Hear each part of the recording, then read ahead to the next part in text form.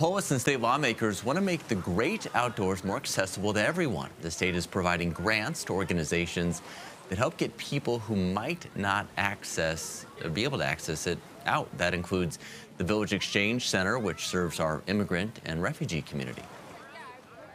We know firsthand that many of our fellow newcomers have never had the opportunity to partake in this beauty. Thank you to the legislators for providing the means to change this. Money coming from the Colorado Lottery. The governor also pointed out the price of a state park pass going to be cut in half next year.